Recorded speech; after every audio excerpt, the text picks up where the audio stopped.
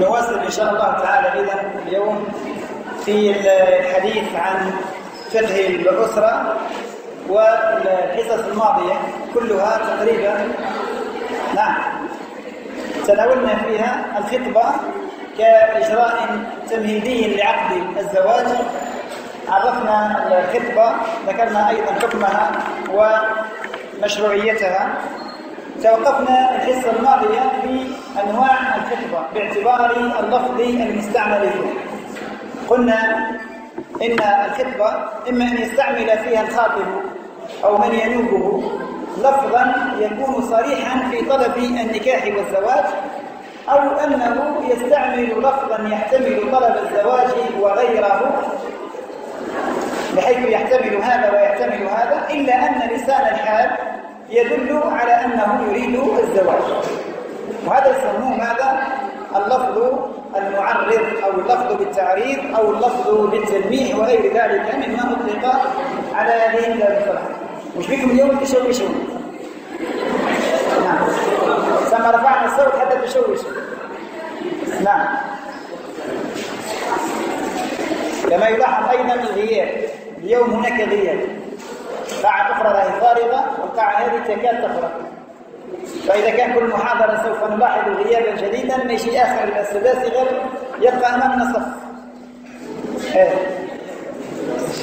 فهذا بالنسبة لأقسام الخطبة قلت من حيث اللفظ المستعمل فإما أن يكون هذا اللفظ صريحا في إفادة طلب الزواج أو أن يكون يحتمل طلب الزواج ويحتمل غيره إلا أن لسان الحال يدل على أن الطالب أو أن المتكلم إنما يطلب الزواج. ولذلك تنقسم وفق هذا الاعتبار كما أسلفت في المحاضرة الماضية والتي قبلها إلى قسمين خطبة تصريحية أو تسمى الخطبة بالتصريح وخطبة تعريضية أو تلميحية وكذلك يطلق عليها الخطبة بالتعريض أو الخطبة بالتلميح طبعا ولكل نوع من هذه الأنواع أحواله وأوقاته التي يجوز فيها. لذلك نقرر أولا أن العلماء اتفقوا في مواضع الفقهاء اتفقوا في مواضع واختلفوا في مواضع. يعني بالنسبة للخطبة اتفقوا على أن المرأة التي لا يكون بها مانع من موانع الشرعية للزواج بها يجوز خطبتها تصريحا وتلميحا قالوا أن المرأة التي لا يمنع من الزواج بها مانع بحيث يمكن للرجل أن يعقد عليها في الحال. وهذه المرأة التي يجوز له أو يقدر يعقد عليها في الحال هي المرأة التي لا تكون بها موانع مؤبدة ولا موانع مؤقتة ولا تكون مخطوبة للغير ولا تكون يعني مشغولة بحق زوج آخر. المحرمات بالتأبيد معروفة وسنعود إليها في الزواج. المحرمات بالتأبيد هناك المحرمات بالنسب وهن سبع نساء ذكرت في سورة النساء. وهناك يقاس عليهم سبع أخريات بالرضاع لقول النبي صلى الله عليه وسلم إنما يحرم بالرضاع ما يحرم بالنسب. والمحرمات بالنسب معروفة لديكم نعم حرمت عليكم أمهاتكم وبناتكم وعماتكم وخالاتكم وبنات الأخ وبنات الأخت وأمهاتكم التي أرضع لكم.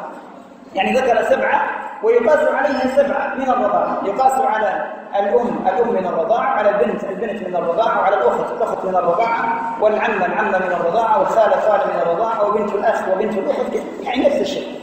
فهؤلاء محرمات على التأبيد. لا يجوز له خطبتهن لأنه لا يجوز له أن يعقد عليهم وكذلك المحرمات على التأقيت. المحرمات على التأقيت مثلا المرأة المشغولة بحق زوج آخر المرأة المتزوجة لا يجوز خطبتها لأن في هذا اعتداء على الزوج على زوجها. ولذلك قلت لكم في الحصة الماضية في المحاضرة الماضية قلنا أو قال الفقهاء بتحريم تحريم دفع المرأة إلى طلب الطلاق من زوجها وهذا سماه النبي صلى الله عليه وسلم التخليف قال ليس منا من خبب امرأة على زوجها ولا عبدا على سيده. معنى التخفيف هو أنه يحرض المرأة على طلب الطلاق من زوجها ليتزوجها. فإذا حرضها على طلب الزواج ثم عقد عليها بعد ذلك فالعقد باطل والزواج باطل. فالعقد باطل والزواج باطل. لماذا؟ لأنه بني على باطل.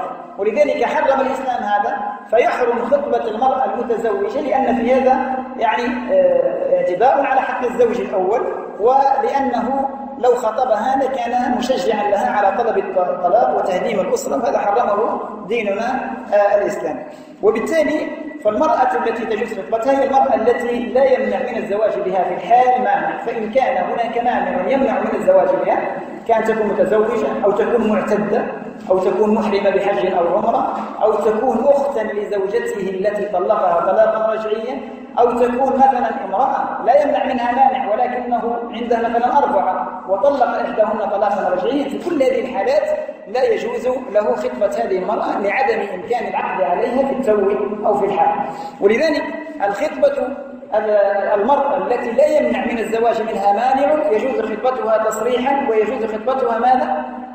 تلميحا. هذا باتفاق جميع أهل العلم على أن الخطبة على أن المرأة التي لا يمنع من الزواج منها في الحال أي مانع يجوز خطبتها تصريحا وتلميحا بقي الآن الإشكال في المرأة المعتدة. المرأة التي تكون في العدة هنا وقع إشكال. اتفقوا على مقدار واختلفوا في مقدار آخر. اتفقوا على أن المرأة المعتدة من وفاة يجوز خطبتها بالتعريض لا بالتصريح. يعني جميع الفقهاء اتفقوا على أن المرأة المعتدة من وفاة يجوز خطبتها ليس بالتصريح لماذا ليس بالتصريح؟ لأن هذه المرأة لو صرح لها بالخطبة كأن يأتي مثلا ويستعمل معها لفظا صريحا في الزواج فهذا ربما قد يجعلها تستعجل فتخرج من العدة فتدعي أن العدة ماذا؟ أن العدة قد انتهت وفي هذا يعني أو أيضا قد يكون السبب أيضا في أنها تؤدي إلى اختلاط الأنساب كأن تكون حاملا فتستعجل ولا تخبر بذلك إلى غير ذلك كما أن فيها اعتداء على الميت واعتداء على أهله لأن هذه المرأة لو أخبرت صراحة بالزواج ربما هذا يحملها على ترك الإحداد والتزين أي ترك الإحداد وهو الحزن. على زوجها الفقير والتزين وإظهار الزينة استعدادا للخطاب وهذا طبعا يجعلها تعتدي على الحكمة التي من أجلها شرعت عدة المتوفى عنها زوجها وهي إظهار الإحداد والحزن والوفاء لزوجها ومشاركة أهل الزوج في هذا المصاب لذلك لا يجوز التصريح ويجوز التلميح للمرأة المتوفى عنها زوجها لماذا؟ لأن التعريض لا يجعلها تستيقن بطلب الزواج فلا يحملها ذلك على الاستعجال في العدة كما أنها أيضا ليست ذات زوج لأن الزوجية قد انقطعت بالوفاة فليس هناك زوج حتى يحدث الشجار أو النقاش بينه وبين الخاطب. إذا انقطعت الزوجية بالوفاة آه، ومن ثم يجوز التعريض كما أن في التعريض للمرأة المعتدة من وفاة أيضا فيه أمل جديد بالنسبة لهذه المرأة بأنها قد تتاح لها فرصة الزواج بعد العدة مرة أخرى. لذلك ربنا سبحانه وتعالى في القرآن الكريم يعني تكلم عن موضوع المرأة يعني المعتدة بالوفاة فقال والذين يتوفون منكم ويذرون أزواجا يتربصن بأنفسهن أربعة أشهر وعشرا فإذا بلغن أجلهن فلا جناح عليكم فيما فعلن في أنفسهن بالمعروف والله بما تعملون خبير. ثم قال ولا جناح عليكم فيما عرضتم به من خطبة النساء فاتفق الفقهاء على أن هذا الكلام يخص المرأة المتوفى عنها زوجها أنه يجوز التعريض لها بماذا؟ بالخطبة خلافا لغيرها.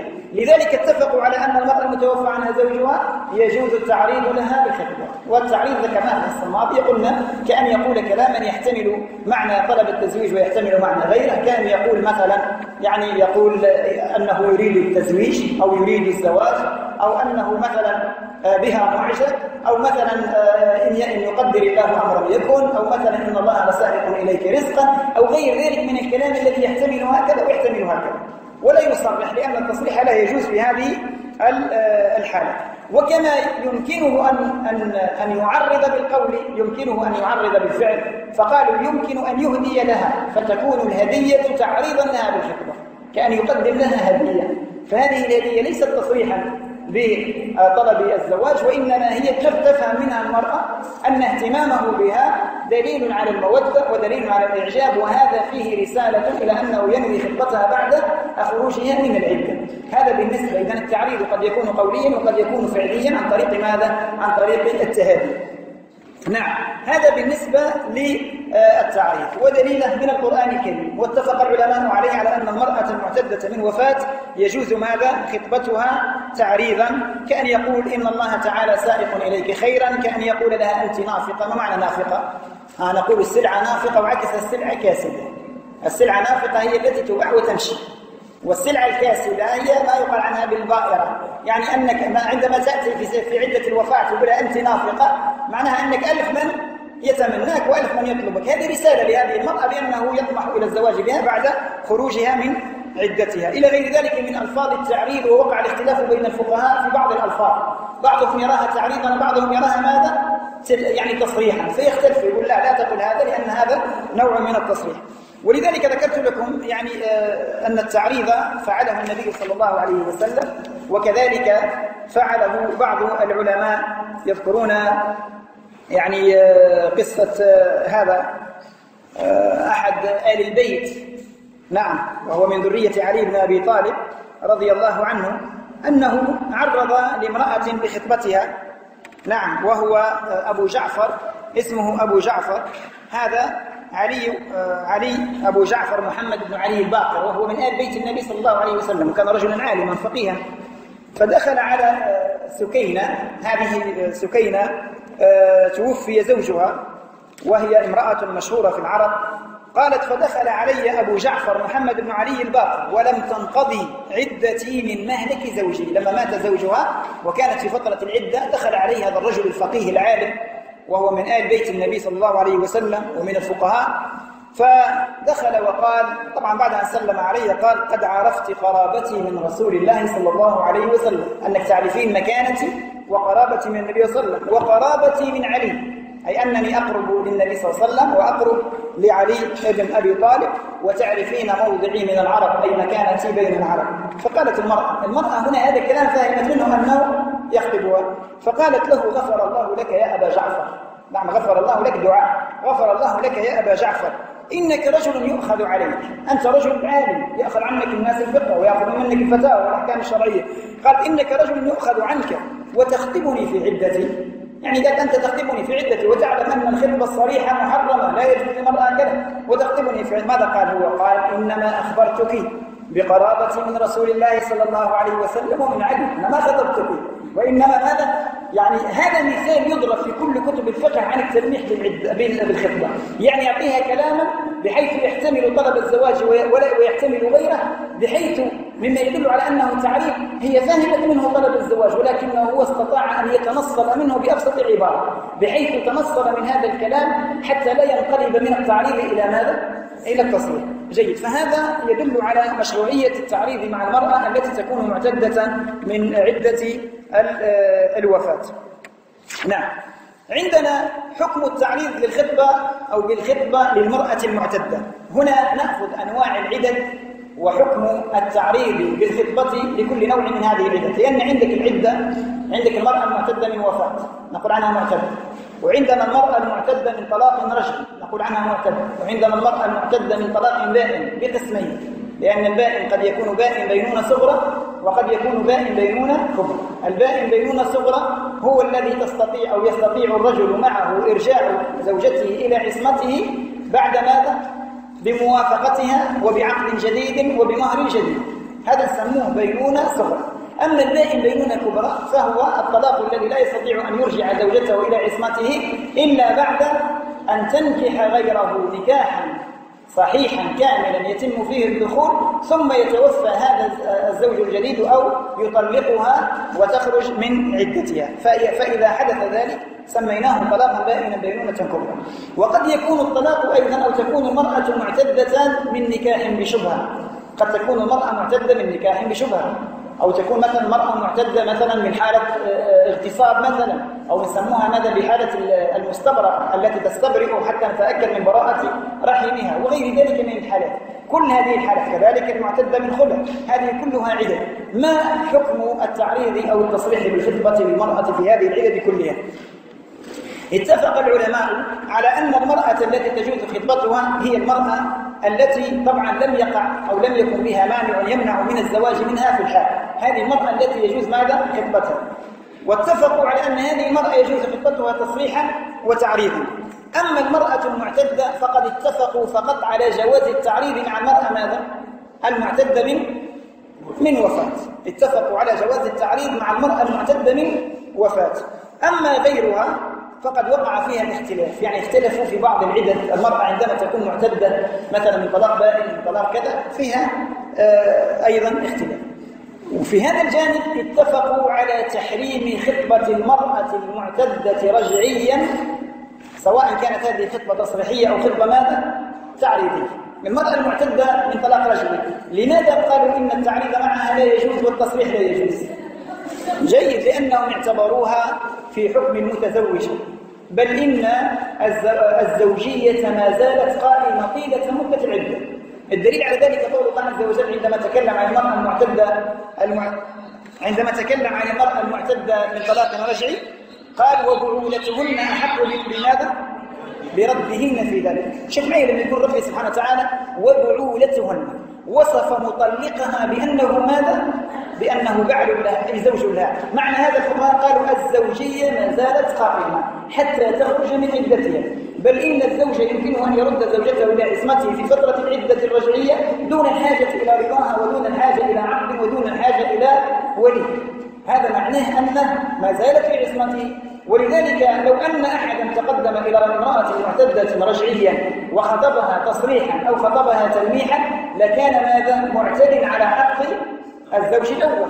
وهذا سيكون بينه وبين الزوج الأول اعتداء لأنه اعتدى له وهذه تعتبر في حكم زوجته ويفسد عليه لأنه يمكن أن يردها في أي وقت ولعل هذا يدفع المرأة إلى عدم القبول إلى القبول بالرجوع إلى زوجها الأول ويشجعها على النشوز وعلى طلب الطلاق وغير ذلك. لذلك حرمه العلماء تحريما واحدا وقالوا بتحريم خطبة المرأة المعتدة رجعيا سواء كان هذا كانت هذه الخطبة يعني تلميحا أو كانت ماذا؟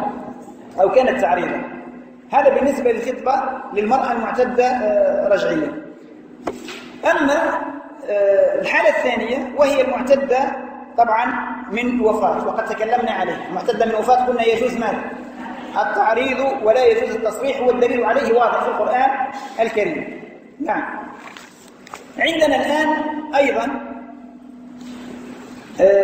ممكن نأخذ دليل على مسألة التعريض في حالة الوفاة بفعل النبي صلى الله عليه وسلم. فقد دخل النبي صلى الله عليه وسلم على أم سلمة عندما مات أبو سلمة رضي الله عنه في الغزوة ودخل عليها وقال لها النبي صلى الله عليه وسلم هذه العبارة لقد علمت أني رسول الله صلى الله عليه وسلم وموضعي في قومي. لقد علمت أني رسول الله صلى الله عليه وسلم وخيرته أي أن الله اختارني لهذه الرسالة فهو أفضل الخلق صلوات الله وسلامه عليه. وموضعي من قومي فكانت هذه يقول الراوي فكانت هذه خطبة تعريض أو خطبة تعريض من رسول الله صلى الله عليه وسلم. فالنبي صلى الله عليه وسلم استعمل التعريض مع أم سلمة التي صارت بعد ذلك أما للمؤمنين وتزوجها النبي صلى الله عليه وسلم.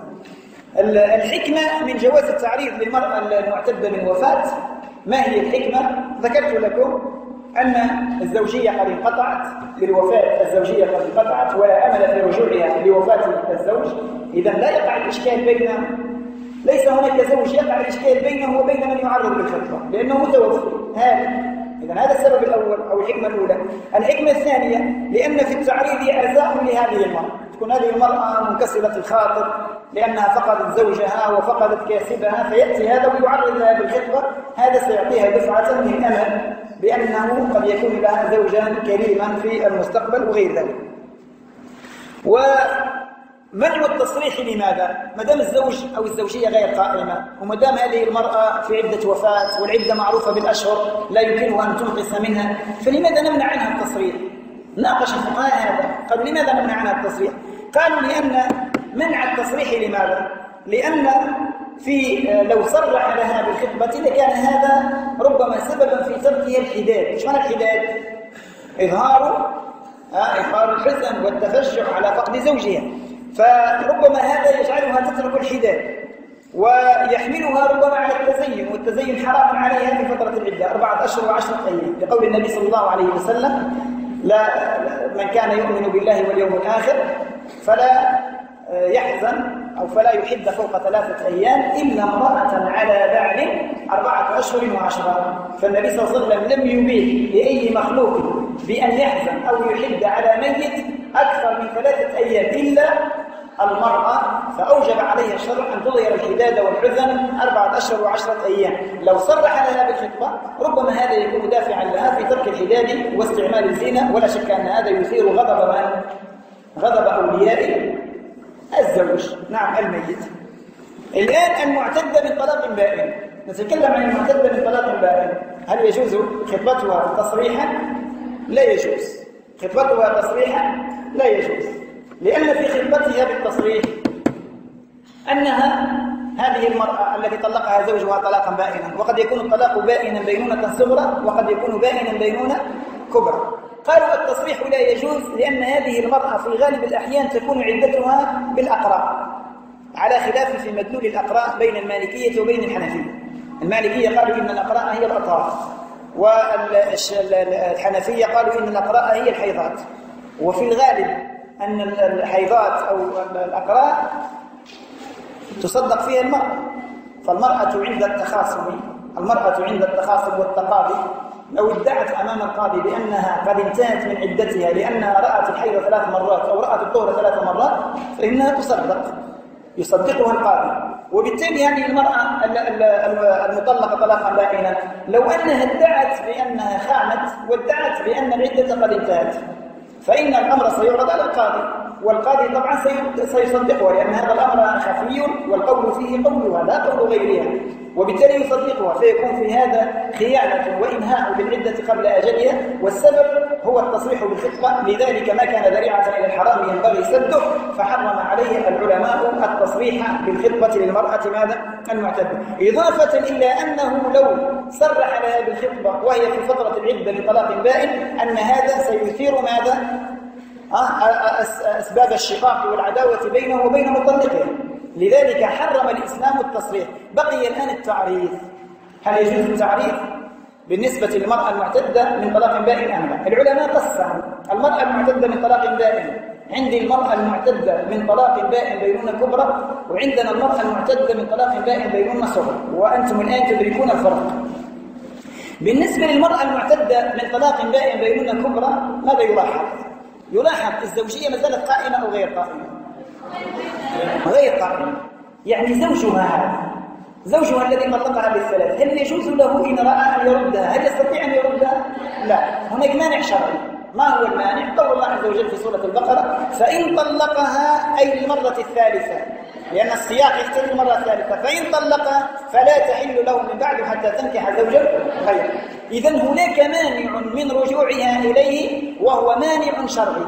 فعندما يتقدم هذا الخاطب ليعرض لها بالخطبة ليس هو المانع في رجوعها إلى زوجها الأول وإنما المانع مانع آخر. وهذا لا شك أنه يجعل أسباب أسباب الشقاق بين الخاطب بالتعريض وبين الزوج المطلق طلاقا بالثلاث أو غيره يكون أسباب الخلاف ضعيفة لا تكون موجودة وبالتالي جوز العلماء أقول جمهور العلماء جوزوا لماذا؟ خطبة المرأة المطلقة طلاقا بائنا بينونة كبرى جوزوا خطبتها بالتعريض أولا لأن الزوجية قد قد انتهت بهذا الطلاق المحرم ثم قياسا على من؟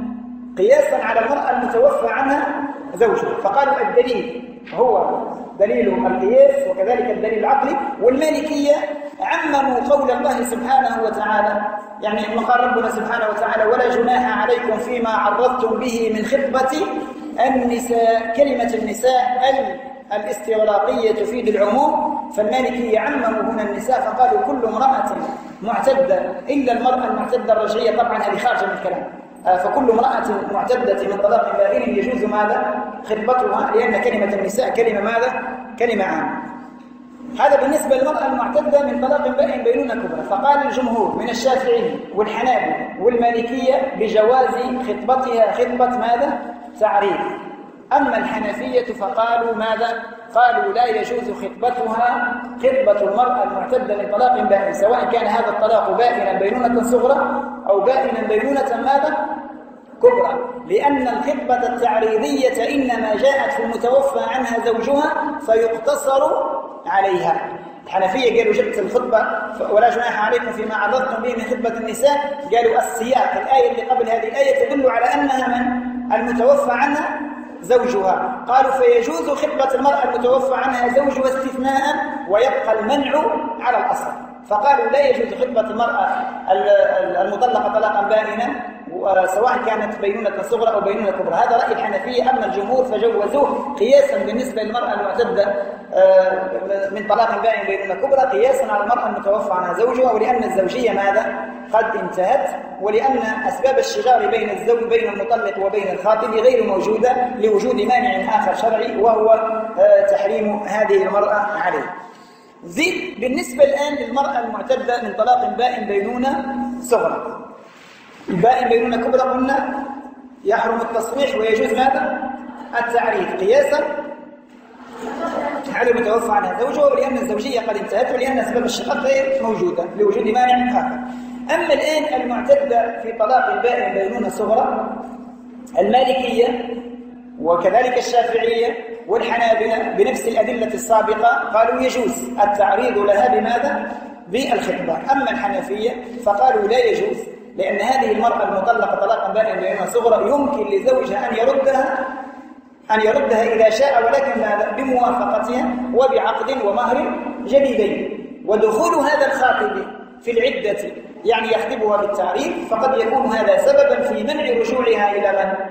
إلى زوجها الأول وهذا يكون مثار جدال ونقاش بينه وبين مطلقها والإسلام يحسم مادة الخلاف والشقاق فقالوا لا يجوز لأن فيه اعتداء على ماذا؟ الزوجية كما أن الإسلام يحرص على بقاء هذه الأسرة قائمة أو بقاء الزوجية قائمة ولا شك في تدخل الخاطب قد يكون دافعا للفرقة بين الزوجين فمنعه الأحناف وهذا الرأي الأحناف رجحه آه، الدكتور المرحوم محمد محمد في كتابه الخطبة والزواج بين الشريعة والقانون رجح هذا الرأي كيف رجحه؟ قال لو لو ندرس المصالح والمفاسد قال سوف نجد أن المفروض أن رأي الحنفية قال هو الأصوب قال لأن الرجل إذا طلق زوجته طلاقا بائنا بينونة صغرى يبقى أمل الزواج قائم لأنه يمكن ماذا؟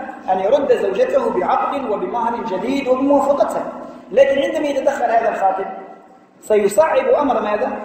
أمر رجوعها إليه وقد يشجع المرأة على رفض هذا الزوج فيكون ذلك سببا للشحناء والنقاش بين الأزواج. فرجح هو رأي الحنفية وخالف مذهبه المالكي وكذلك مذهب الجمهور.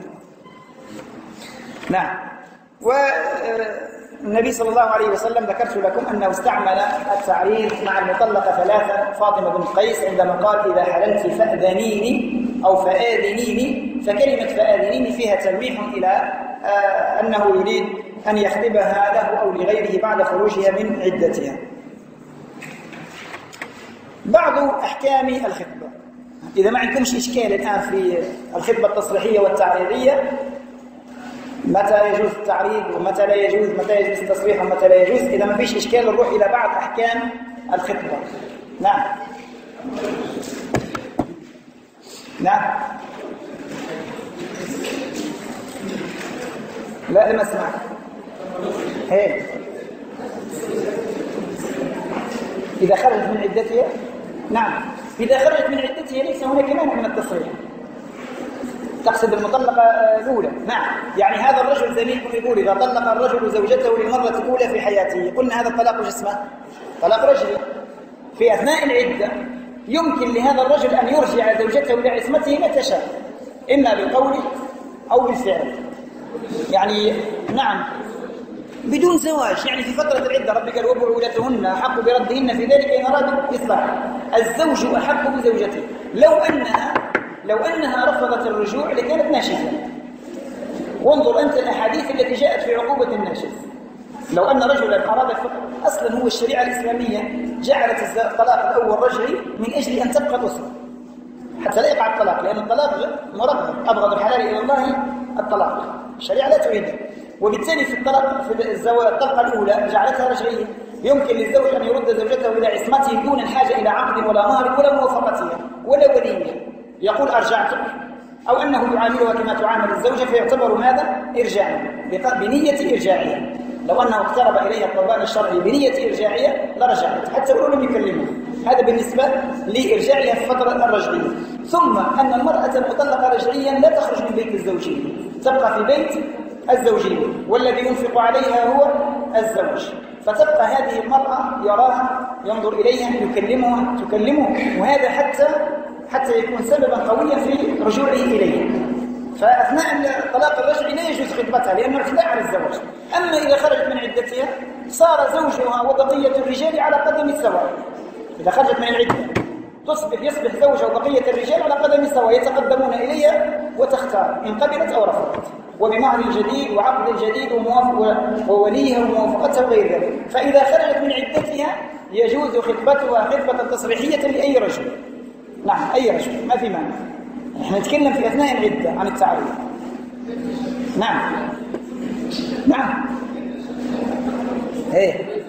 نعم المفروض أن المرأة إذا طلقت طلاقا رجعيا للمرة الأولى تبقى في بيت زوجها. لا تخرج. وفي حكم صنعناها إن شاء الله لما ناخذ درس العدة. في حكم لأجل ذلك. نعم حتم يعني قطعا لمادة الخلاف. خاصة يظهر أن هذه مرأة حامل. فعندما تبقى في بيته فهذا سيقوي الثقة بهذه المرأة وبمن تحمل. أما لو خرجت فهذا قد يفتح باب الشك والظنون وغير ذلك. فلذلك المفروض أنها تبقى في بيته وينفق عليها النفقة واجبة عليه أيضا ويتعامل معها وكأنها ما زالت في عصمته. نعم. هل هناك سؤال قبل أن نذهب إلى أحكام الفقه. نعم.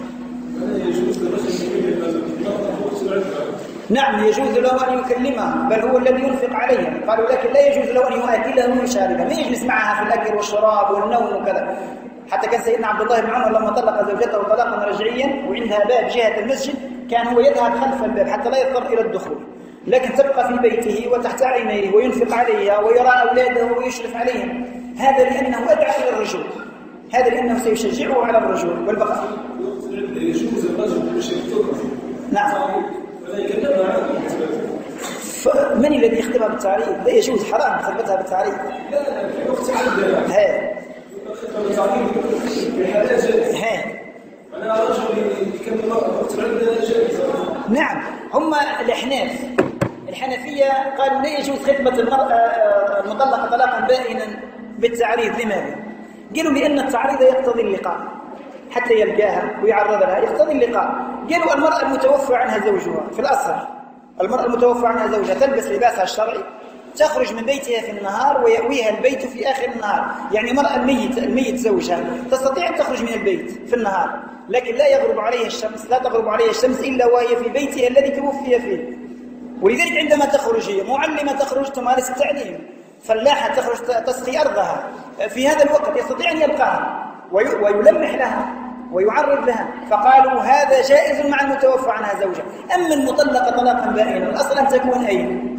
في بيت الزوجية ومن يستطيع أن يصل إلى بيت الزوجية. فقالوا أنتم يا جمهور تقولون بجواز التعريض بالخطبة لكنها في الواقع غير موجودة من أن له أن يجدها حتى يعرض معها بالخطبة. والتعريض يقتضي أن يكون معها لوحده. وهذا الأمر لا يكون مع المعتدة من من طلاق ولكن يكون مع المعتدة من وفاة. نعم. آه، إذا ما في سؤال نذهب للأحكام نعم.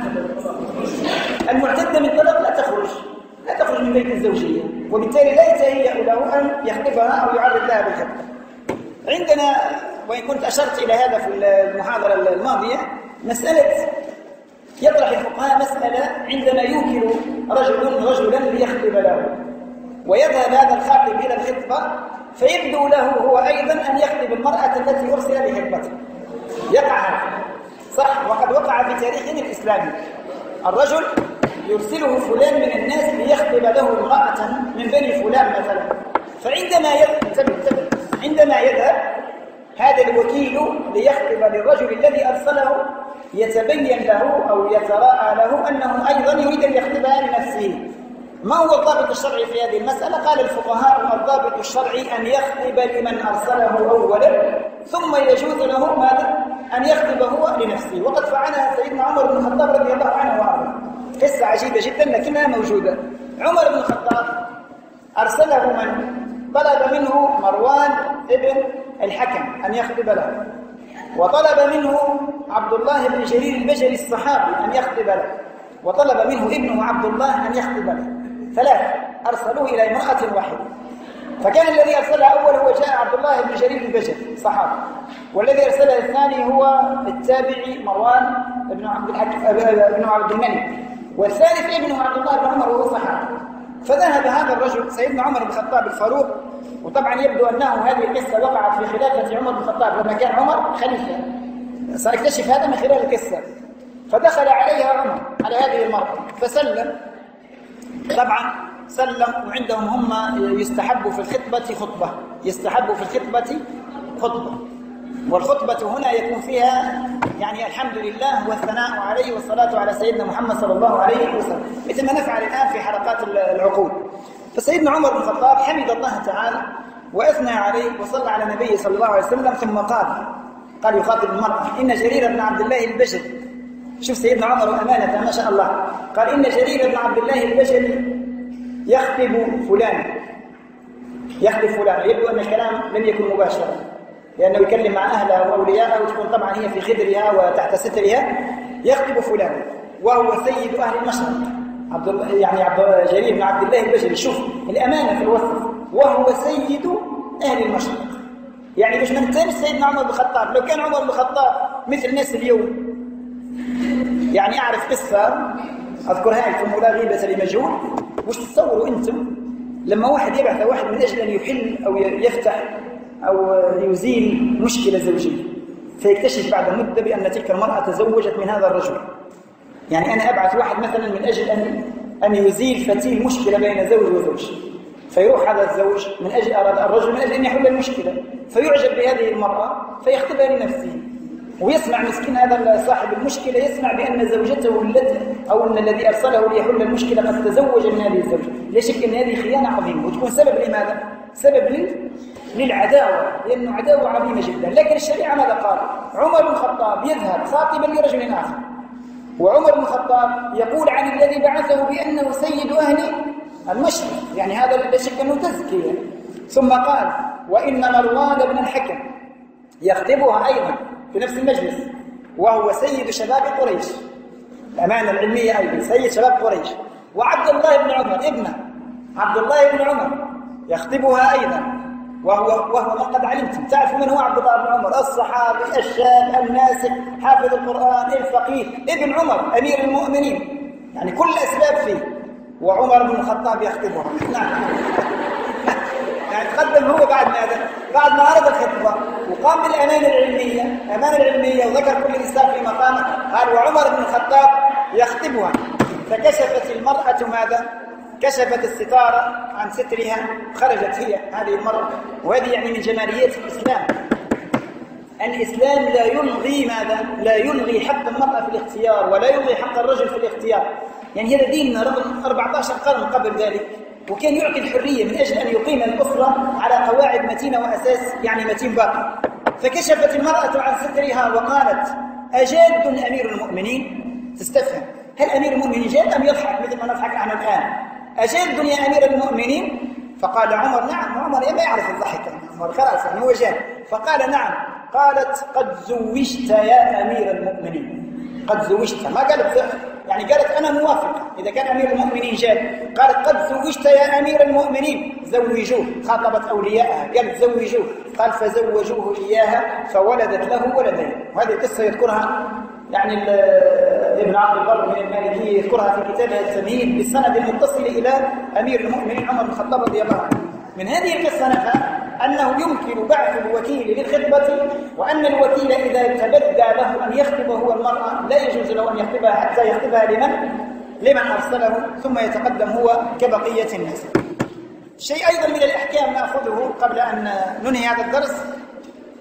كراهة خطبة المرأة المحرمة بحج أو عمرة. كراهة خطبة المرأة المحرمة بحج أو عمرة. يعني المرأة لما تكون محرمة بحج أو عمرة تكون امرأة في حالة إحرام بحج أو بعمرة فإنه لا يجوز أو يكره خطبتها. نعم. الزواج في في فترة الإحرام بحج أو عمرة حرام لا يجوز. لقول النبي صلى الله عليه وسلم لا ينكح لا ينكح المحرم ولا ينكح. لا ينكح بل جاء في رواية لا ينكح المحرم ولا ينكح ولا ينكح. وفي رواية هذه التي سأذكرها الآن ولا يخطب ولا يخطب. فحمل العلماء حمل نهي المحرم بحج أو عمرة عن الزواج على التحريم. فلا يكون زوجا ولا يكون زوجة ولا يكون وليا.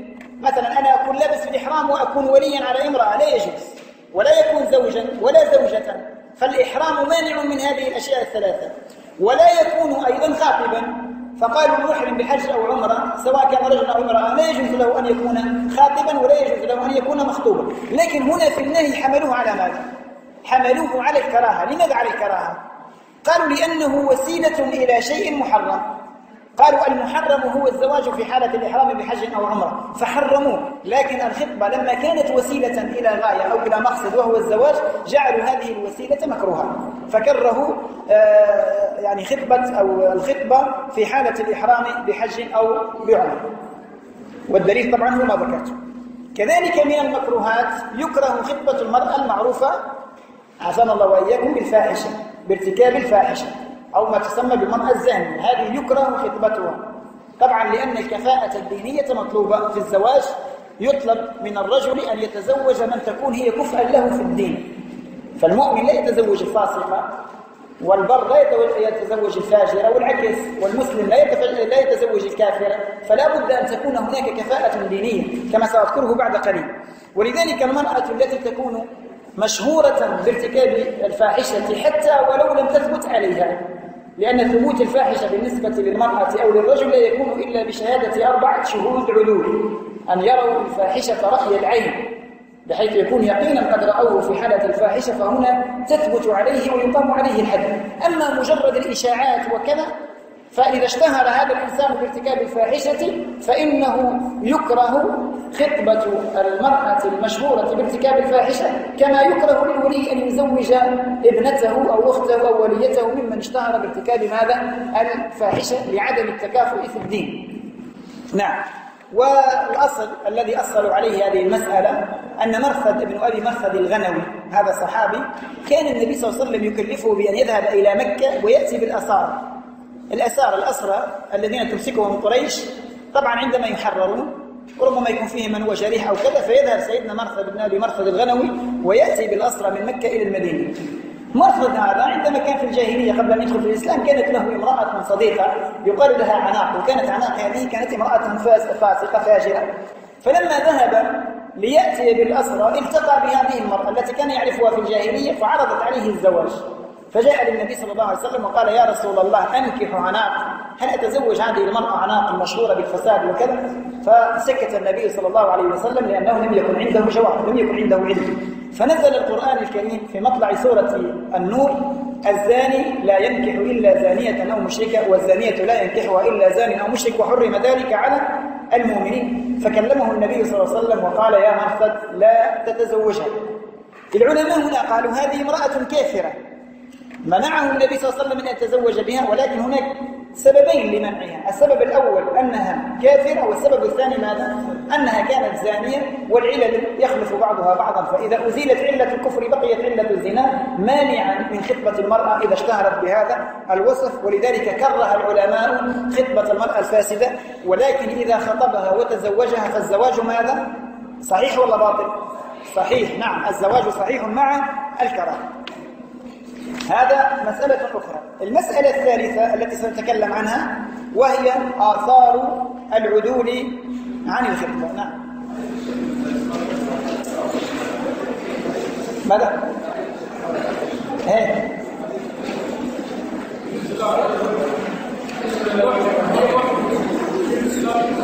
لا هو مانع يعني مانع من يعني مانع. حتى إذا كان كره فهو كراهة تنزيه. لا يعني إذا كان عرض للمرأة المحرمة بحج أو عمرة فهو مكروه فقط. يعني كراهة تنزيه ليس حراما. نعم لأن المرأة المحرمة بحج أو عمرة يكره خطبتها لكن في حالة الزواج لا يجوز. زواج باطل لا يجوز نكاح المرأة وهي في حالة إحرام بحج أو بعمرة. ووقع الخلاف في حديث ميمونة مع النبي صلى الله عليه وسلم أن النبي صلى الله عليه وسلم عقد على ميمونة جاءت الروايات أنه وهو حلال وفي رواية أنه محرم فوقع الخلاف لكن العلماء رجحوا أنه كان حلال يعني كان لم يكن آه، محرما بحج أو عمرة. نعم. جينا الآن مسألة مهمة جدا وهي مسألة العدول عن الخطبة. مسألة العدول عن الخطبة. يعني العدول عن الخطبة. إحنا عندما قررنا في بداية هذا الدرس قلنا أن الخطبة هل هي عقد؟ ليست عقدا.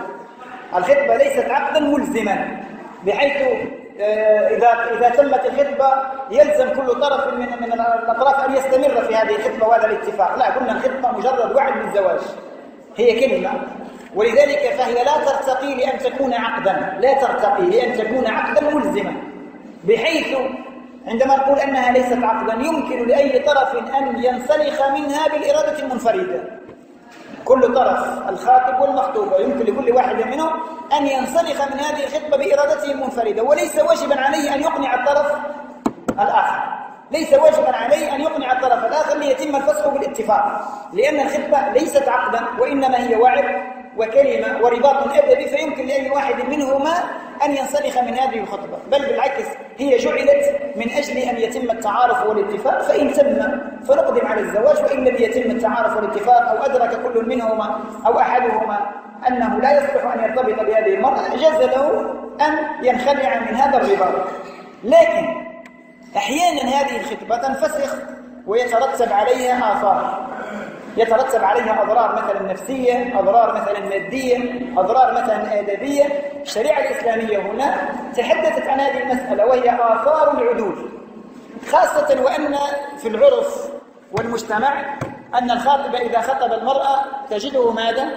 يقدم لها الهدايا وهذه الهدايا قد تكون أموالا وقد تكون مأكولات طعام وقد تكون حيوانات وقد تكون حليا الحلي هو الذهب والفضة والملابس. بمعنى قد تكون هذه الأشياء ذات قيمة وقد تكون ذات ماذا؟ ذات قيمة عظيمة جدا بحيث يتضرر الذي قدمها إن لم يتحقق له مراده. وقد تكون ذات قيمة بسيطة جدا بحيث لا يتضرر. لذلك الشريعة الإسلامية نظرت في هذه الأشياء وأنها قد تكون سببا للتنازع عند فسخ الخطبة. لذلك تكلمت الشريعة الإسلامية متى يطالب بالرد ومتى لا يطالب بالرد. قديما لما يتكلموا كانوا يتكلمون على أن الرجل هو الذي يهدي. يعني أنت من الآن لو تروحوا لكتب الفقه نكلفكم تروحوا لكتب الفقه. ونقول لكم ابحثوا عن حكم إذا ما أهدت المرأة للخاطب. المخطوبة مثلا تهدي للخاطب مثل ما هو الآن في المجتمع. صار عندنا الآن في المجتمع الأمور ليس فقط الخاطب هو الذي لا المرأة تهدي وقد تهدي ملابس وتهدي ربما يعني ساعات آه، الثمن وقد تهدي مثلا هاتف نقال يعني صارت أشياء مكلفة. نعم. إذا أهدت المرأة الآن وحدث الفسخ في الخطبة هل نطالب الرجل بأن يرد؟ قديما الفقهاء ناقشوا المرأة هي التي ترد. الآن هل يطالب صحيح قال الإمام مالك اسمع معي جيدا. قال الإمام مالك قال يحدث للناس من الأقضيات بقدر ما يحدث لهم من الفجور. هذه مسألة ما كانت مطروحة قديما لأن الأصل أن الذي يقدم هو الأغنى والأغنى هو الرجل. فكان الرجل هو الذي يهدي. كتب الفقه القديم الكل يقول لك ما حكم مطالبة الرجل للمرأة إذا فسخت الخطبة بأن ترد له هدايا؟ ما افترضوا أصلا أن المرأة تطالب الرجل بأن يرد لها هدايا. ليه؟ لأنه ما كان موجود عندهم هذا الأمر. لذلك عندنا قاعدة. هنا قال مالك قال يحدث للناس من الأقضيات ما معنى الأقضيات؟ الأقضيات يعني المنازع المنازعات. بقدر ما يحدث أو بقدر ما يحدث الناس من الفجور. ما معنى الفجور؟ ما معنى الفجور؟ الفجور هو المخالفات. يعني بعض الأشياء في زمن النبي صلى الله عليه وسلم وزمن الصحابة والتابعين كانت موجودة. وبالتالي ما تكلموا عليها لأنهم أصلا ما وصلوا إلى ذلك إلى ما وصلوا إلى ذلك الخلاف أو أو القيام بأشياء مخالفة للشرع. لذلك من لم يحتاجوا إلى أقضيات ومنازعات لكن في حياتنا نحن اليوم الناس صاروا يخترعون معاملات مالية. لم تكن موجودة من قبل أحيانا يأتيك إلى البيت واحد يسألك عن معاملة مالية يقول لك من هو الظالم تجد أنت المعاملة هذه المالية تريد أن تضعها في قالب من القوالب القديمة لا تجد لها أصلا لأنها لم تكن ماذا؟ معروفة ولم تكن موجودة بعض المنازعات التي تقع بين الزوج والزوجة الآن لا تجدها بين الخاطب والمخطوبة بين العاقد والمرأة التي عقد عليه لماذا؟ لأنها كلها تعتبر من ماذا؟ من الفجور والبعد عن الشرع كلما ابتعدنا عن الشرع كلما حدثت لنا ماذا؟ أقضيات ومنازعات هناك أنواع من الشركات الآن من المشاركات التي يقوم بها الناس في الأموال لا تجد لها أصلا. هم يفعلون هذا الأمر ولا يستشيرون أول الأمر. ثم عندما تقع يقع النزاع يأتي يقول لك حللنا المشكلة فلا تجد لها ماذا؟ حلا لأنها من الفجور الذي أحدثه الناس في هذا الوقت. كذلك هذه لعلكم تحسبون منها ما تهديه مخطوبة بالخاطب الآن هو من الوقائع ومن النوازل التي لا تجد لها كلاما في كتب الفقه القديمة. لكننا سنتكلم عنها بإذن الله. نعم لا بد أن نتكلم عنها ونجد لها طبعا حلا إما عند القانونيين أو عند الفقهاء.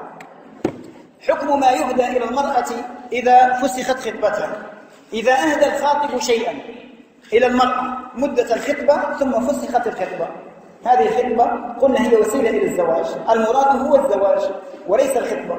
مع أننا في الواقع قد تتحول الخطبة تصبح عند بعض الناس غاية. تظل المرأة مخطوبة للخاطب مدة سنوات. مع أنه في مذهبنا المالكي يستحب تقصير مدة الخطبة أقل ما يمكن. ويستحب إخفاؤها. الآن صارت الخطبة تعلن وصارت الخطبة تطول مدتها حتى تصبح ربما بمدة بعض الزواجات. وهذا طبعا لا شك أنه مخالف للشرع. نعم. نعم. لا التهادي مشروع. التهادي مشروع. المرأة الرجل يهدي والمرأة تهدي. بل النبي صلى الله عليه وسلم قال كلاما عاما تهادي تحاب حتى بغير خطبة وكذا يجوز الهدايا. نعم هذا عادي. لكن نتكلم عن الأثر ما هو الأثر عند التنازع؟ كيف نحل المشكلة؟ صح؟ هذا بس نتكلم عنه الآن. إذا أهدى الخاطب شيئا إلى المرأة مدة الخطبة ثم فسخت الخطبة هل يسترجع ما أهداه لها أو لا يسترجع؟ ما رأيكم نعم. نعم. ما هو ما هي خلاصة كلام العلماء في هذه المسألة؟ نعم. هنا نعم. ما هي خلاصة كلام العلماء في هذه المسألة؟ هناك من نظر إلى ماذا هناك رأي اسمع معي. هناك رأي نظر نظر إلى إلى سبب أو لا, لا نقول سبب. إلى طرف من طرف الفسخ. ممن كان ممن كان نظر إلى ماذا من الذي هو أعلن الفسخ؟ هل هو الرجل أو هو المرأة؟ فهناك من العلماء من نظر إلى هذا. قال ننظر من هو الذي فسخ. هل هو الرجل أو المرأة؟ فقالوا إذا كان الذي فسخ هو الرجل. الذي فسخ هو الرجل. كان الفسخ منه. وهو أهدى وهو أهدى إلى المرأة ماذا هدايا وهذه الهدايا طبعا قد تكون أموالا. قد تكون حليا. والحلي هو ما تلبسه المرأة من ذهب الملاك وقد يكون مأكولات وقد يكون حيوان. حيوانات إلى غير ذلك قد تكون هذا كله فإذا كان فإذا كان الفسخ منه بناء على هذا الرأي هل يسترد ما أعطاه المرأة؟ لا يسترد إذا كان الفسخ منه لا يسترد ما أعطاه للمرأة لماذا؟ قال حتى لا نجمع على المرأة ماذا؟ حتى لا نجمع على المرأة ألمين ألمين ألم ماذا؟ ألم العدول عنها معنى العدول عنها يعني صرفها وفسخ خدمتها هذه حاجة مصيبة ثم نزلوا شيئا ما هو مطالبتها بالرد خاصة إما أعطيها أموال وهي تنفق هذه الأموال وتصرفها ثم بعد ذلك يفسخ كل هذه الأموال. سيكلفها ربما بأن تبيع أشياء تمتلكها من أجل أن تفي بهذه الأموال. فقال لا يجمع عليها آلمين آلم العدود أي تركها وآلم ما مطالبتها آه، بالرد لكن إذا كان الفسخ من جهة المرأة إذا كان هي التي فسخت نضاعفها ماذا؟ بأن ترجع تطالب المرأة إذا كان السبب في إذا كانت هي التي فسخت تطالب برد أموال الرجل. أموال الرجل. هذا رأي. هناك رأي دقيق أكثر مقاصدية. قال المرأة هي الأصل فيها؟ قديما أن المرأة لا تكسب. المرأة قديما لا تعمل. فعندما نطالبها حالة الفسخ هي من جهته نطالبها بالرد الأموال نوعان أموال أموال تبقى قائمة تبقى قائمة وأموال مستهلكة أموال تبقى قائمة لا بأس إذا أعدها جاء هذا الخاطب قال هذه ترضى القطعة وانتهى لكن المشكلة في الأموال التي تستهلك وهي لا تكسب من أين ستأتي بهذه الأموال؟ سنوقعها في هذا في الحلب أو ربما ندفعها إلى الطيب لذلك هناك رأي فقهي عند الأحناف ماذا يقول؟ الأحناف قالوا ننظر إذا كان السبب من المرأة نقول لها المال القائم ترد أما المال المستهلك فقد ضاع على من ضاع على الرجل ولا نطالبها بإرجاعها استهلاكاته كملابس مثلا لبستها وبنيت أو طعام مثلا أكلته أو شيء من هذا القبيل فلا ترد إلى الخاتم إلا ما إلا القائم من الأموال ولا ترد له المستهلك هذا كلام أهل العلم في المسألة المالكية طبعا اختاروا ماذا؟ اختاروا أن المرأة إذا كان الفسخ منها ترد للرجل المال كله. ترد له المال الموجود وترد له قيمة ما استهلكته إذا استهلكت أشياء فتقوم هذه الأشياء وتردها للزوج حتى لا نجمع عليه ألمين ومصيبتين مصيبة فسخ خطبته ومصيبة أمواله التي ذهبت عند المرأة نعم. جيد إذا ما طلبش فهذا جميل منه. إذا لم يطلب فهذا جميل منه. ربي سبحانه وتعالى لما تكلم. ربي سبحانه وتعالى لما تكلم عن المهر و ولم يتم الزواج وهو قدم مهر سمى مهرا في العقد أو أعطاها مهرا قال فنصف ما فرضتم. آه وإن طلقتموهن من قبل أن تمسوهن. أعطيتها مهر. وقبل أن يقع آه، الدخول أو إتمام الزواج وقع الطلاق. هنا يطالبها بماذا؟ بنصف المهر. أعطاها 20 مليون مثلا يطالبها بعشرة ملايين. ماذا علقت الآية القرآنية؟ قال فنصف ما فرضتم إلا أن يعفون أو يعفو الذي بيده عقدة النكاح وأن تعفوا أقرب التقوى يعني أن المفروض الرجل هنا يعفو ويتسامح في هذه الأشياء خاصة أن المرأة معروف بأنها لا تكسب في الغالب وإن كان الآن صارت تكسب وصارت موظفة وربما تكسب أكثر من الرجل. ينبغي مراعاة هذا الأمر. لكن قديما المرأة كانت لا تكسب ولذلك في الخلع المرأة. في الخلع عندما تختلع من زوجها. سنعود إلى هذا. الشريعة الإسلامية ضيقت على الرجل في مسألة المهر فقالت لابد أن يكون المهر مالا حقيقيا مستفادا منه يمكن تسليمه في أي لحظة. أما بالنسبة للمرأة في الخلع المرأة ما اشترطت عليها هذا الأمر. تساهلت معها لماذا لعلم الشريعة بأن المرأة لا مال لها في الغالب. نعم فتساهلت مع المرأة وشددت على الرجل كما سنراه إن شاء الله لما نصل إليه. إذا هذا بالنسبة للعدول فنقول العدول إذا كان من الرجل فالمرأة تطالب بأن ترد إلى الرجل ماله وهداياه. هذه الهدايا إذا كانت موجودة تردها بعينها وإذا كانت مستهلكة تردها بقيمتها أو بمثلها. نعم. الآن قلت الفقهاء لم يتكلموا عن هدية المرأة للرجل. ما القاعدة الآن برأيكم؟ هذه المرأة التي أهدت للرجل وبعد الرجل هو الذي يفسخ. نفس القاعدة تقريبا. نقول ماذا؟ نعم نفس القاعدة تقريبا وهي أن المرأة ماذا؟ آه، إذا كان أهدت لهذا الرجل ثم هو الذي فسخ فينبغي له ماذا؟ أن يرجع إليها كل مالها الموجود والمستهلك مثل ما ترجع له لو كانت هي التي فسخت العقد وهذه لم يتكلم عنها الفقهاء لأنها قديما ما كانت موجودة ولكن الآن عمت بها البلوى وصارت معروفة في البيوت آه، مسألة أخرى أحيانا الخطبة يسحبها إعطاء المهر الخطبة يسحبها إعطاء المهر. عندما يخطبها مثلا يعطيها المهر.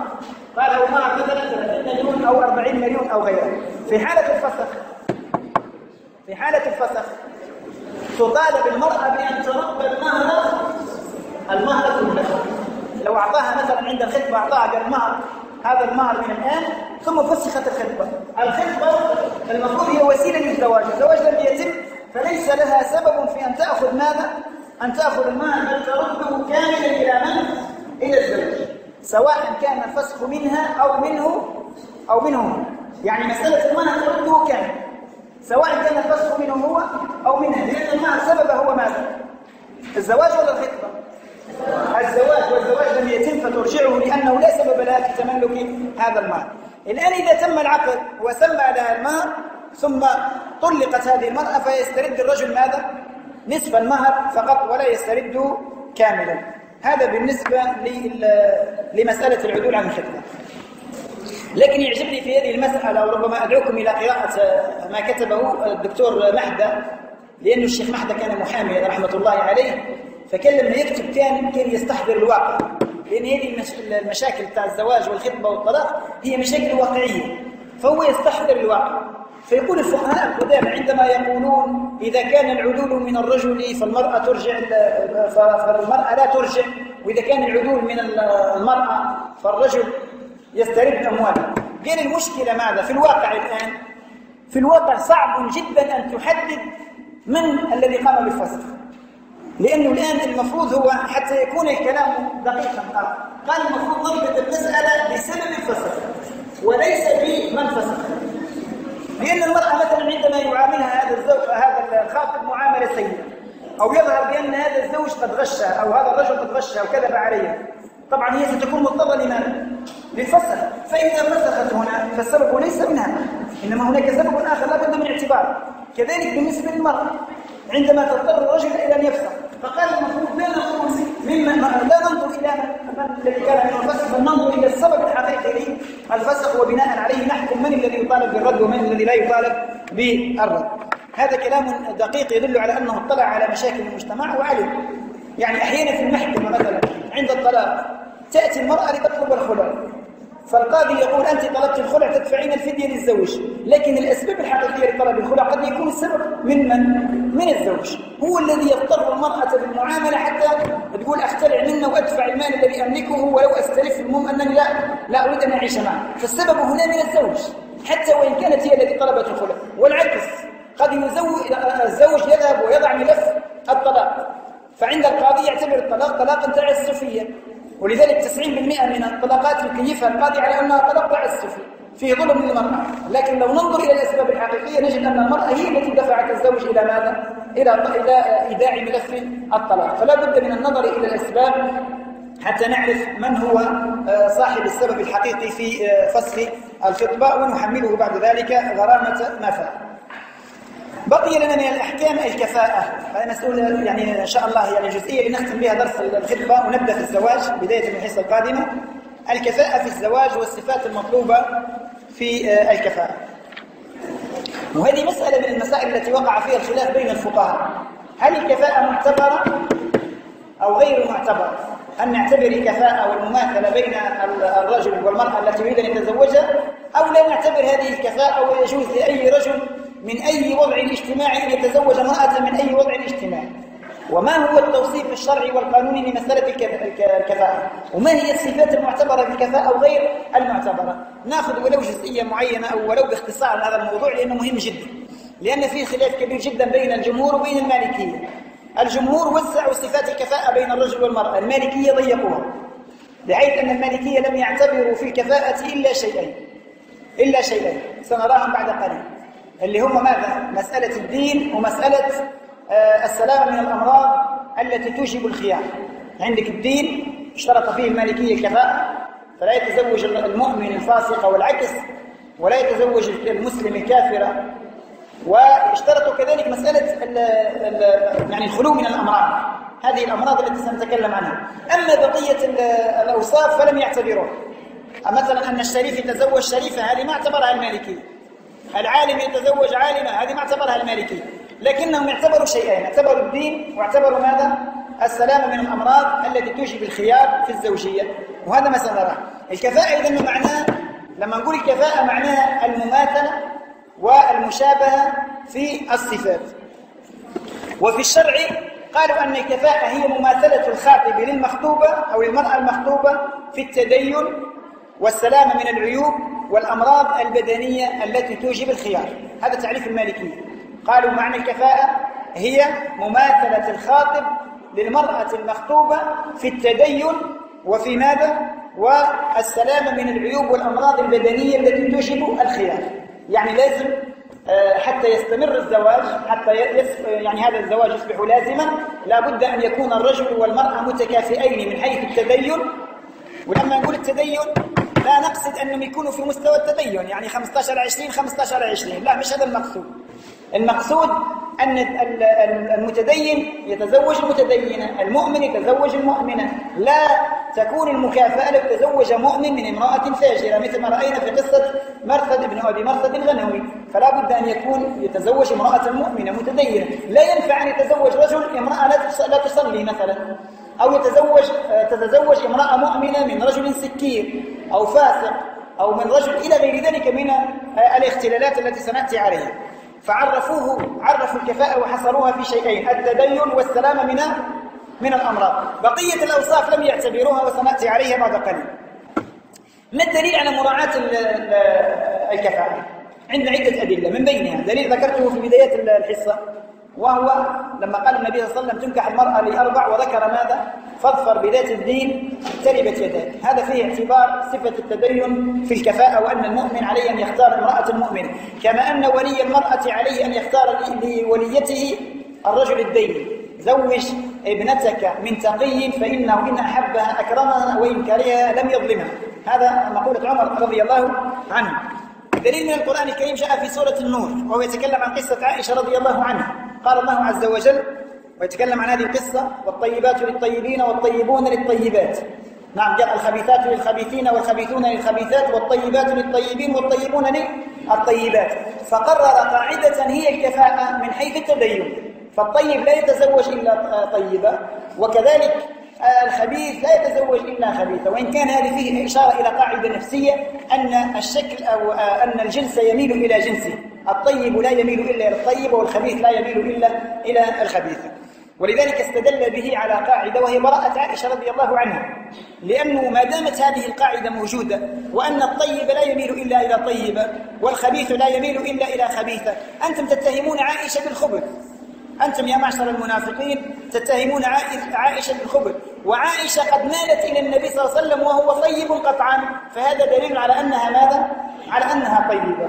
وجاء القرآن الكريم مبرأ من السماء فقال أولئك مبرؤون مما يقولون لهم مغفرة ورزق كريم. فهذه مسألة يعني مسألة الكفاءة. الكفاءة ناخذها أيضا من حديث النبي صلى الله عليه وسلم عندما جاءته تلك الفتاة وقالت إن أبي أراد أن يزوجني من ابن أخيه ليرفع بي خسيسته فقال النبي صلى الله عليه وسلم الأمر إليك. هذا يدل على ماذا؟ على مسألة الكفاءة. وغير ذلك من الأدلة. ما هي الصفات التي تطلب في الكفاءة والتي تعتبرها المالكية في الكفاءة؟ الصفة الأولى هي الكفاءة في الدين. الكفاءة في الدين. بمعنى المقصود به الإسلام مع السلامة من أسباب الفسق أن يكون مسلما والسلامة من أسباب الفسق بأن لا يكون مرتكب لكبير من الكبائر ومجاهر بها. يعني هذا اللي يشرب الخمر ويجاهر أو يتعاطى المخدرات ويجاهر أو مثلا يأكل الربا ويجاهر به أو يأتي الفاحشة ويجاهر به. هذا ليس كفءا للمرأة المتدينة. ليس كفءا للمرأة المتدينة بحيث لو اكتشفت أن هذا الزوج على هذه المواصفات يجوز لها أن تطلب ماذا؟ فسخ. فسخ العقد بل يجوز لها أن تذهب إلى القاضي وتخبره بهذا الأمر وتنقل إليه تضررها فيفسخ القاضي هذا العقد. بل يجب عليه أن يفسخ هذا العقد حماية لهذه المرأة. نعم. والدليل على ذلك في اعتبار الدين قول الله عز وجل أفمن كان مؤمنا كمن كان فاسقا لا لا يستوون. أفمن كان مؤمنا كمن كان فاسقا لا يستوون. ثانيا ثانيا من الأوصاف التي اعتبرها المالكية في مسألة الكفاءة السلامة من ماذا؟ السلامة من العيوب. السلامة من العيوب. هناك هاتف. السلامة من العيوب. طبعا هذه العيوب ممكن سنعود إليها في درس الزواج. هناك عيوب توجب الخيار. يعني أن الزوج إذا عقد على امرأة واكتشف أن بها عيوبا أو هي اكتشفت أن بهذا الزوج عيوبا لم تكن ظاهرة عند العقد أو قبله لأنها إذا كانت ظاهرة عند العقد واطلع عليها وقبل بالعقد معنى ذلك أنه رضي بهذه العيوب وضيع بذلك حقه. أما إذا كان لم يظهر له العيوب إلا بعد العقد سواء كانت هذه العيوب تتعلق بالرجل أو تتعلق بالزوج أو كانت عيوبا مشتركة بين الرجل والمرأة ثم ظهرت بعد العقد فإن المتضرر يمكنه أن يفسخ العقد لأن هذا الشرط شرط الكفاءة هو شرط في لزوم الزواج وبقائه. الزواج صحيح بدليل أنه لو كان هو اطلع على عيب فيها فقال رضيتها على هذا العيب يستمر الزواج. ولو هي اطلعت على عيب فيه فقالت رضيته على هذا العيب يستمر الزواج. إذا هو شرط للزوم شرط حتى يلزم الطرفين لكنه ليس شرطا للصحة فالزواج صحيح على كل حال. والفقهاء طبعا عن طريق الاستقراء استقرأوا ما هي هذه العيوب فقسموها إلى عيوب تتعلق بالرجل وعيوب تتعلق بالمرأة وعيوب مشتركة بينهم مجموعها عند المالكية 13 عيبا. أربعة عند الرجل يختص بها وأربعة عند المرأة وأربعة عند الرجل وأربعة مشتركة وخمسة عند المرأة. هذه العيوب حتى لا ندخل في التفاصيل هي عيوب ترجع إلى نجد فيها أنها عيوب تمنع مقصد الزواج الذي هو آه، تحسين الرجل والمرأة بأن يكون عيب الرجل أو عيب المرأة يمنع من تحقيق التحسين الذي هو مقصد من مقاصد تشريع الزواج أو عيب يمنع إنجاب الأطفال الذي هو مقصد من أهم مقاصد الزواج أو عيب يؤدي إلى آه، الضرر بأحد الزوجين كأن يموت مثلا ذكروا عيب من العيوب وهو آه، يعني الجذام الجذام وهو مرض جلدي معدي.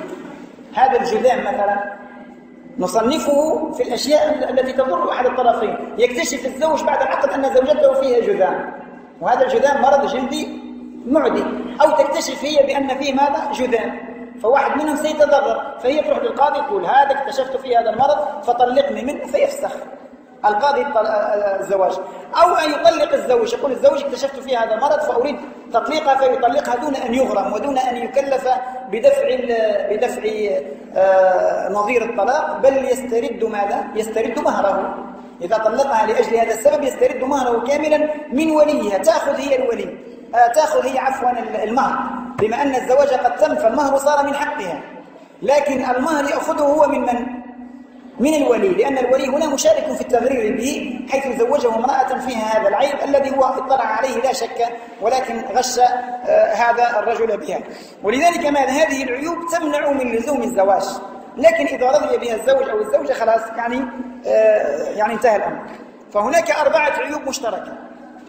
وهذه العيوب إما فيها ضرر مثلا الجنون يكتشف بعد العقد بأن زوجته مجنونة أو تكتشف هي بأن زوجها مجنون.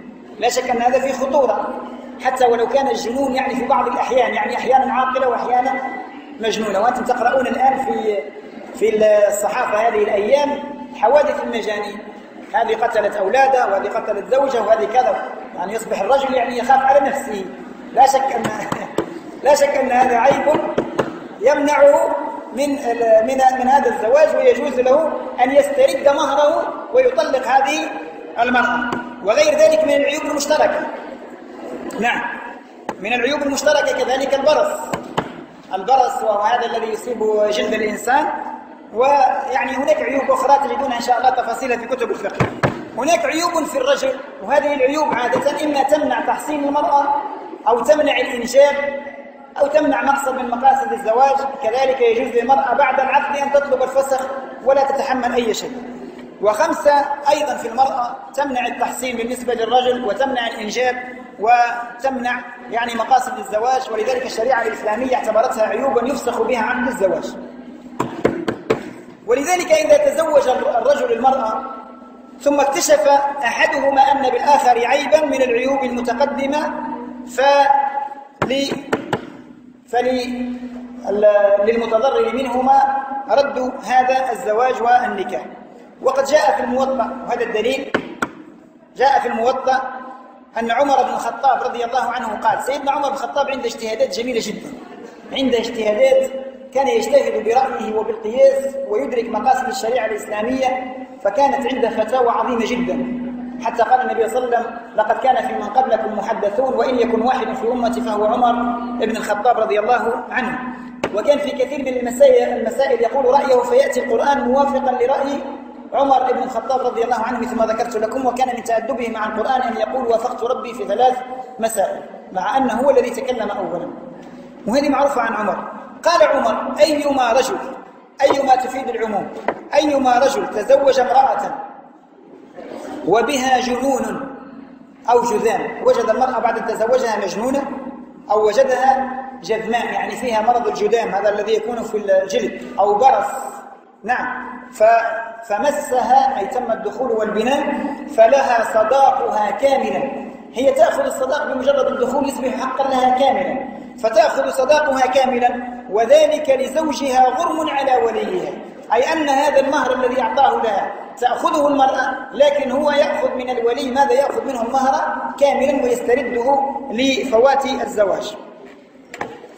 ملاحظة. أيضا وجد النبي صلى الله عليه وسلم تزوج امرأة يقال أنه تزوج امرأة من من دوس من قبيلة أبي هريرة.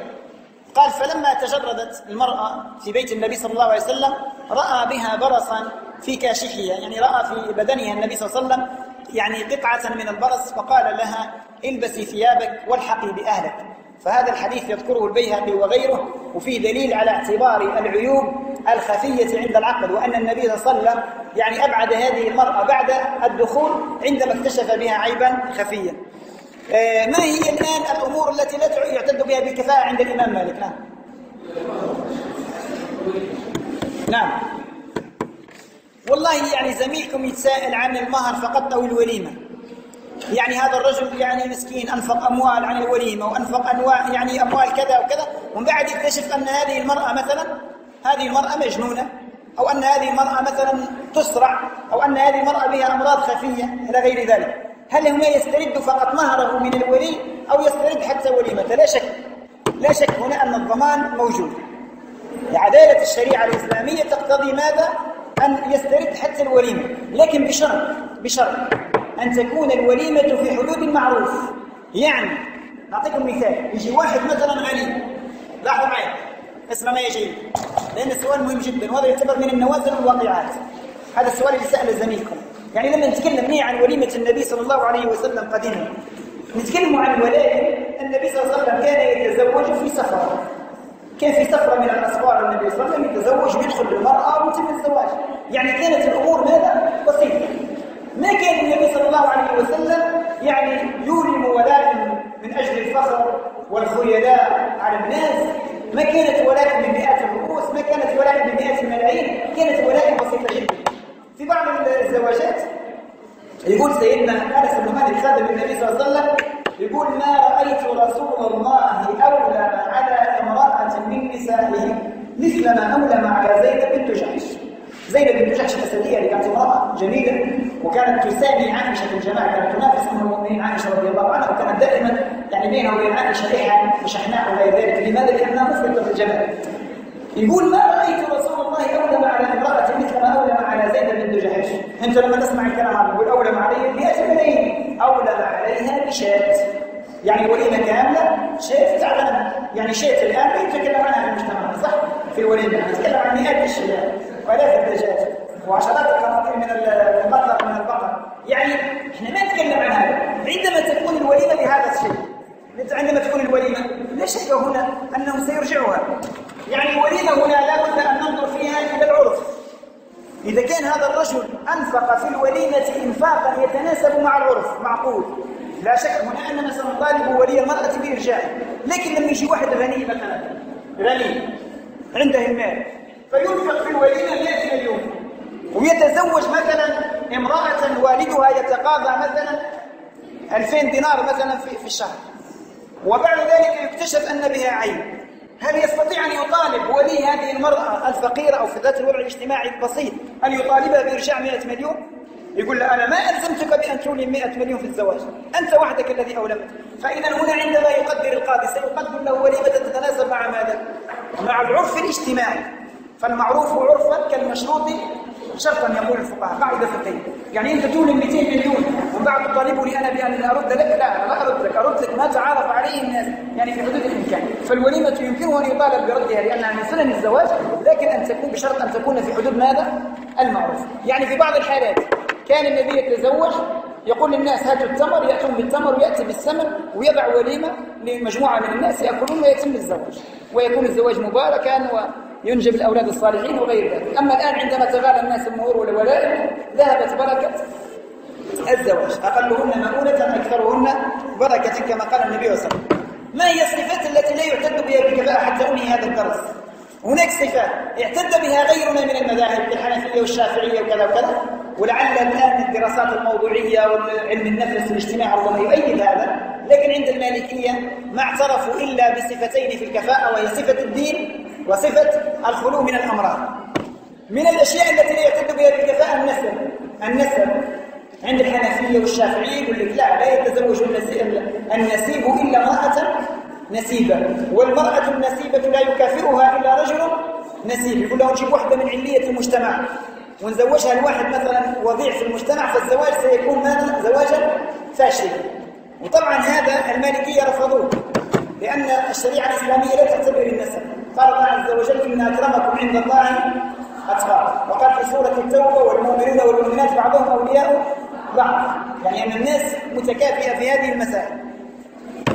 كذلك لا يعتد بالمهنة والحرفة. المهنة والحرفة. الحنفية والشافعية يعتبروها. قال مثلا العالم لا يتزوج مثلا ابنة الكناف أو ابنة النجار أو ابنة الحداد. لماذا؟ للفرق في الحرفة. بين بينها وبين هذا الزوج. فقالوا لابد أن تقع تكون الحرفة ماذا متكافئة؟ صح؟ قالوا مثلا العالم عادة يكون عنده مكانة كبيرة جدا. الطبيب الآن وتجيب مثلا واحد مثلا مهنتها أو حرفتها أو حرفة والدها حرفة بسيطة. قالوا هذا الفرق الاجتماعي سيكون سببا في عدم ماذا؟ نجاح الزواج. الشريعة الإسلامية ما اعتبرته. بدليل أن النبي صلى الله عليه وسلم قبل يد المحترف يد من؟ المحترف الذي يعمل المهنة قبل يده وقال هذه يد يحبها الله ورسوله وقال هذه اليد لا تمسه النار. فهذا دليل على إلغاء الفروق في الحرف. وهذا يتناسب مع طبيعة المجتمع الآن. أن هذه الحرف عبارة عن سلسلة متناسقة يتكامل بعضها مع مع بعض. لا تستغني على أدنى حرفة في المجتمع. كذلك لا يعتد بالحرية في الكفاءة. حرية في الكفاءة عند ابن القاسم من المالكية لا يعتد بها. أي أن المرأة لا انتبهوا انتبهوا أن المرأة المملوكة تكون كفءا للرجل الحر والعكس. أن المرأة الحرة المملوك يكون كفءا لها. هذا الكلام قال ابن القاسم من المالكية. ما رأيكم؟ هذا الكلام منطقي. ابن القاسم هو تلميذ الإمام مالك. وكان له من الذكاء والإحاطة بالعلم ما جعل الناس يلومونه في عصره على عدم اتخاذه مذهبا خاصا به. فقال وهو زميل الشافعي فقال يمنعني الحياء من مالك أن أتخذ مذهبا كان في مكانة الشافعي الشافعي دار مذهب وهو لم يتخذ لنفسه مذهبا قال الحياء من مالك يمنعني. هذا ابن القاسم ماذا يقول يقول إن الناس يتكافؤون المسلمون يتكافؤون فالحرة كفأة للعبد والعكس. وقال هذا الكلام الجمهور نفوه جملة وتفصيلا. قالوا لا يكون الحر كفءا للمملوكة ولا المملوكة كفءة لمن؟ للحر. لأن هناك فرق بيناتهم. هذا منكوف في حرية المملوك وهذا حر طليق. فلا هناك فرق. واستدلوا على ذلك بقصة وقعت في زمان النبي صلى الله عليه وسلم. قصة بريرة مع مضيف. قصة مشهورة جدا. كانت عائشة أم المؤمنين طرفا فيها. كان مغيث هذا زوج لبريرة. كان زوجا لها وكانت بريرة ومغيث كلتاهما كان عبدا عند الأنصار هو عبد وهي مملوكة ومتزوجين عند سيدهم وعندهم أولاد. وطبعا شوف هذه المرأة يعني ما شاء الله عليها تطلعت للحرية رغم أنها امرأة ضعيفة لكنها تطلعت للحرية وأرادت أن تغير حياتها. يعني ليس قدرا علي أن أعيش مملوكة طول عمري فماذا فعلت؟ ذهبت إلى أهلها. قومها الذين يملكونها وقالت لهم ما رأيكم لو كاتبتمون إيش معنى كاتبتمون؟ نعطيكم آه، اطلبوا مني مبلغ من المال واعطيكم هذا المال بالتقسيط. يعني كل مرة أعطيكم شيء مثل ما فعل سيدنا سلمان الفارسي مع ذلك اليهودي الذي كتبه على ألف نخلة. فكان النبي يزرع معه النخل حتى كمل ألف نخلة فأعطاه حريته وقال النبي صلى الله عليه وسلم سلمان منا أهل البيت. هذه المرأة بريدة خلدت اسمها طبعا بهذه القصة. بريرة قالت لمن يملكونها؟ وكاتبكم على مبلغ من المال؟ فقالوا نعم. قالت تعطينا هذا المبلغ من المال على أقساط. قالت جيد. ذهبت إلى عائشة. قالت يا أم المؤمنين إنني أريد أن أصبح حرة. فما رأيك لو دفعت أنت هذا المال وأصير وتصيرين مولاة لي؟ عندما أتحرر تصيرين مولاة لي. إذا مت ترثينني. هذا إيش معناه الوريث يعني إذا مات المعتق يرثه معتقه لأن له يد الحرية عليه. فذهبت إلى عائشة وعائشة طبعا قالت أعتقك بشرط أن يكون ولاؤك لي فأعتقتها فصارت حرة. طبعا حرة وهي متزوجة من من؟ مغيث الذي رضي بماذا؟ بالعبودية. وطبعا عندهم أولاد من بعضهم من بعض. فذهبت إلى النبي صلى الله عليه وسلم مغيث يقول لها ابقي زوجتي. متعلق بها. والنبي صلى الله عليه وسلم تذهب إليه بريرا فتقول له يا رسول الله أنا الآن صرت حرة وهذا المغيث زوجي عبد فما العمل الآن؟ فيقول لها النبي صلى الله عليه وسلم الأمر إليك إذا شئت بقيت زوجة له وأنت حرة وإذا شئت ماذا؟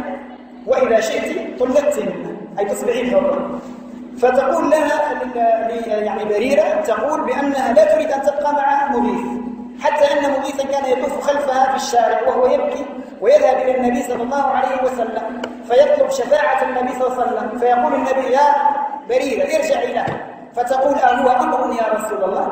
هل تأمرني بهذا؟ شوف مجتمع النبي صلى الله عليه وسلم رغم أنها مملوكة ورغم أن المسألة تتعلق بالحرية بصح لا تريد أن تتجاوز أمر الله وأمر رسوله. أهو أمر يا رسول الله. لا يقول بل هو شفاعة أنا فقط أشفع له. فتقول إذا لا يا رسول الله. فيظل يبكي خلفها يعني مضيف حتى نظر النبي صلى الله عليه وسلم إليهما. وكان بجانبه عمر. فقال يا عمر ألا تعجب من حب مضيف لبريرة ومن بغض بريرة لمضيف؟ كلا تعجب من هذا الأمر؟ فظل النبي صلى الله عليه وسلم متعجب يعني من القلوب. هذه متعلقة بها هو متعلق بها إلى هذه الدرجة وهي ترفضه إلى هذه الدرجة فاختارت الحرية. فالشاهد هنا في القصة أنه لو كان المملوك كفءا للحرة لما خير النبي صلى الله عليه وسلم بريرة في أن تبقى أو لا. تبقى لأنه لا يجوز للمرأة أن تطلق نفسها من زوجها. لكن لما كان اعتبار الكفاءة وأن الحر أو أن المملوك ليس بكفء من الحرة فقد خيرها النبي واختارت حريتها واختارت أن لا تظل مع مغيث برغم تعلقه بها. هذا بالنسبة للحرية. قال ابن القاسم بأنها مطلوبة في الكفاءة ولكن الجمهور على عدم على اعتبار الحرية وأنها من الكفاءة. من الأشياء التي لا يعتد بها في الكفاءة فارق السن. عندنا في المذهب المالكي بل عند تقريبا جمهور العلماء. مسألة فارق السن هل يعتبر في الكفاءة بمعنى أن آه، الزوج والزوجة أو الخاطب والمخطوبة لا بد أن يكونا في أسنان متقاربة؟ قالوا هذا لم يعتبره أحد من الفقهاء بدليل زواج النبي صلى الله عليه وسلم من خديجة وهي تفوقه بمثل عمره تقريبا. هو في الخمسة وعشرين سنة وهي في نعم في الأربعين سنة أو أكثر من ذلك. بل وتزوج النبي صلى الله عليه وسلم عائشة. عقد عليها وهي بنت سبع سنين وهو أكثر من خمسين سنة. ودخل بها وهي بنت تسع سنين وهو قد تجاوز الخمسين سنة. فقالوا لا اعتبار بمسألة بمسألة فارق السن في الكفاءة لكن وهذا كلام يعجبني من غورياني كان كلام جميل جدا. أحيانا غورياني عند نفسه بتاع الحاسة الفقهية. قال جيد نحن نلغي مسألة اعتبار السن مع أن الاجتماعيين الآن وعلماء النفس وكذا عن الكلام يخالف هذا لو تروح الان كلام كلام علماء الاجتماع وعلماء النفس سيقولون هذا الكلام خطأ. لا بد من تكافؤ. التكافؤ في العمر وأن الزيجات لا تفشل إذا كان هناك فرق. بل قالوا في دراسة علم النفس الاجتماعي والسلوك الاجتماعي قالوا إن من أسباب الإجرام عند الأطفال أن يكون فارق السن كبيرا بين الرجل والمرأة. جيد خذ هذا الكلام منهم. أما في الشريعة الإسلامية فلا اعتبار له. لكن آه، الغريري ماذا يقول؟ هذا الأمر إذا كان بالاتفاق فبها ونعمت لكن إذا ثبت شيء من التغريب أسمع معي جيدا آمين إذا كان إذا ثبت شيء من التغريب بمعنى الخداع في مسألة العمر فتعتبر هنا الكفاءة كيف ذلك؟ قال كما أننا في العيوب البدنية والجسمية إذا ثبت هناك تغريب واكتشف المرض بعد بعد العقد يعطي الحق للمتضرر بماذا؟ بأن يفسخ صح؟ كذلك العمر مثلا الرجل تقدم للمرأة كان عمره قال عمرها مثلا هي 20 قال عمري 30 يكذب ثم بعد العقد اكتشفت المرأة بأنه قد غشها وأنه يفوقها مثلا مرتين عمرها 50 سنة وهي عمرها مثلا 20 سنة هل يجوز للمرأة أن تتضرر بهذه؟ نعم رغم أننا لا نعتبر الكفاءة في العمر لكن هنا ثبت ماذا؟ ثبت تغرير وثبت خداع. العكس لو أن الرجل اكتشف أن المرأة كذبت أيضا في سنها وأنه تزوج امرأة كبيرة وخدعته فله أيضا هنا أن يطلقها ويسترد ماذا؟ ويسترد مهره كاملا. نعم. هذا ولا بد أن نؤكد على أن الكفاءة شرط في لزوم العقد وليس شرطا في صحته فالعقد صحيح في كل الأحوال. فإذا رضي الطرفان بأن يبقيا مع بعضهما البعض ثبت هذا الزواج ولا حرج فيه. ولذلك آه، قرر الفقهاء أن الكفاءة شرط للزوم وليس شرطا في أصل بقي لنا التوصيف القانوني بالنسبة للخطبة. إن شاء الله في عشر دقائق الحصة القادمة نتكلم عن الخطبة من الناحية القانونية ونشرح القانون الجزائري ومهارته إلى الخطبة.